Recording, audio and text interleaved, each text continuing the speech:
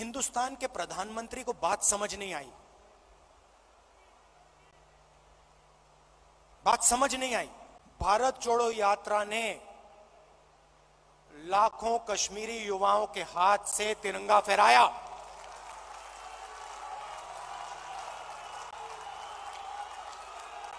प्रधानमंत्री को फ़र्क नहीं समझ आया। हमने हिंदुस्तान की भावना इस झंडे की भावना जम्मू कश्मीर के युवाओं के अंदर डाल दी। आपने अपने झंडे की भावना जम्मू कश्मीर के युवाओं से छीन ली। हम है सत्याग्राही, वो है सत्याग्राही ये सत्ता के लिए कुछ भी कर लेंगे। ये किसी से भी मिल जाएँगे।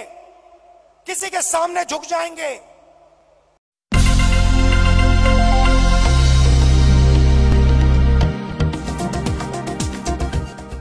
नया शब्द है। आरएसएस बीजेपी वालों के लिए हम है सत्याग्राही, वो है सत्ताग्राही। ये सत्ता के लिए कुछ भी कर लेंगे। ये किसी से भी मिल जाएँगे। किसी के सामने झुक जाएँगे। सत्ता के लिए।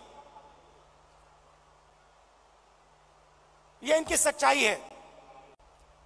पार्लियामेंट में बने प्रधानमंत्री जी का भाषण सुना।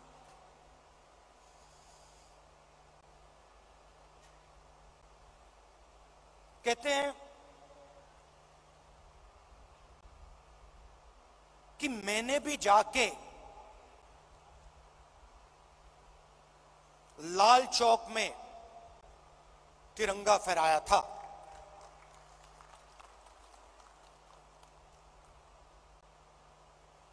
मैं सुन रहा था। मैंने सोचा, देखिए, हिंदुस्तान के प्रधानमंत्री को बात समझ नहीं आई। बात समझ नहीं आई।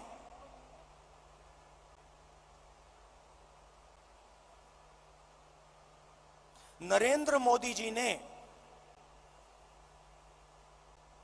बीजेपी के 15-20 लोगों के साथ जाकर लाल चौक पे तिरंगा फहराया। भारत जोड़ो यात्रा ने लाखों कश्मीरी युवाओं के हाथ से तिरंगा फहराया।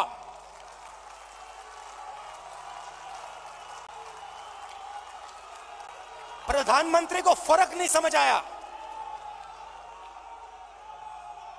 हमने हिंदुस्तान की भावना इस झंडे की भावना जम्मू कश्मीर के युवाओं के अंदर डाल दी। आपने अपने झंडे की भावना जम्मू कश्मीर के युवाओं से छीन ली। यह फ़र्क है हम में और आप में।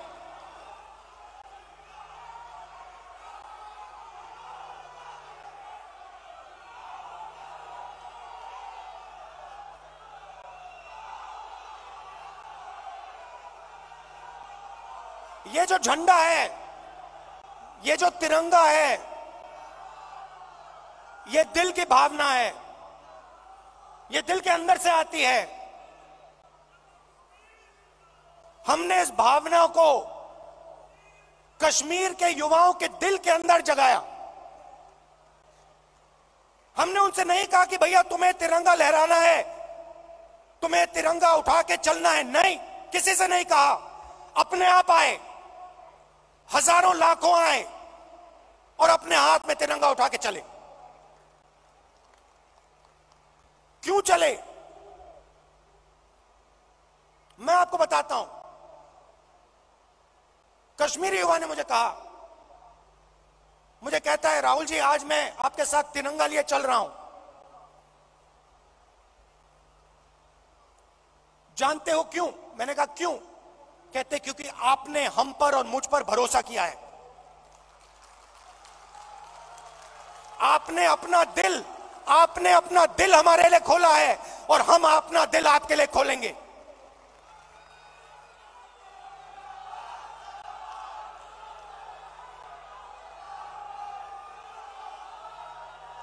यह फ़र्क है।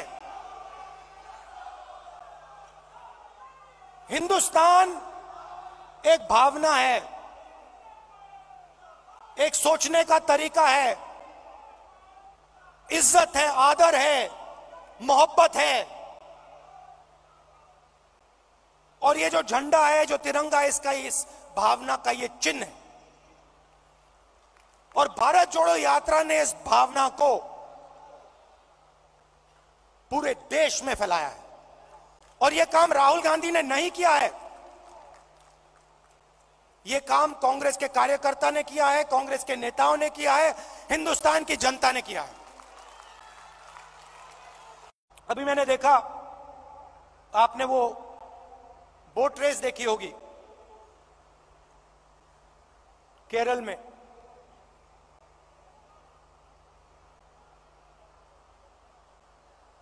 उस समय जब मैं बोट में बैठा था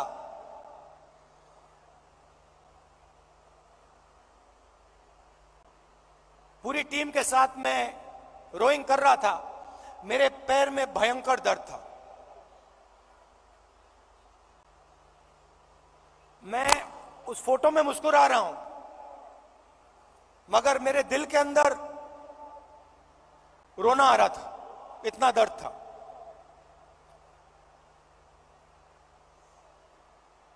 मैंने यात्रा शुरू की।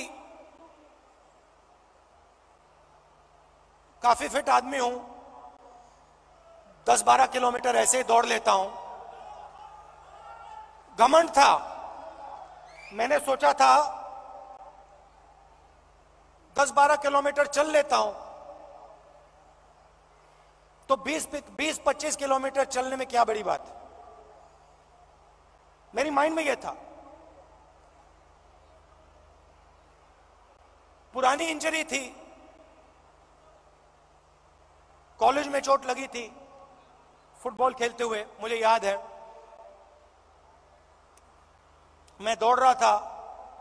मेरे दोस्त ने पीछे से अड़ंगी मार दी और घुटने में चोट लगी।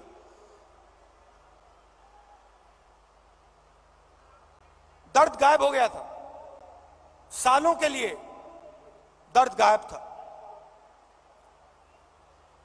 और अचानक जैसे ही मैंने यात्रा शुरू की, दर्द वापस आ गया।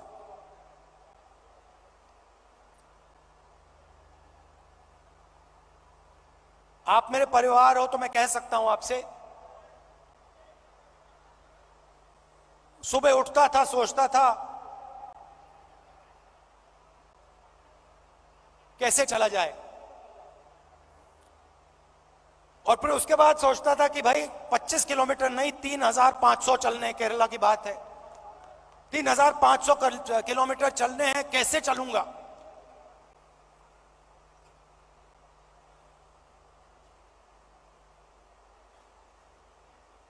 और फिर कंटेनर से उतरता था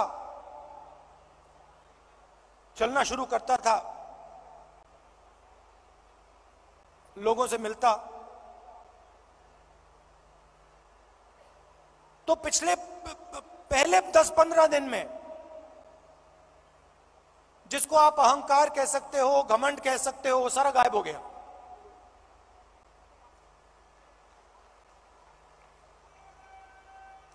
क्यों गायब हुआ?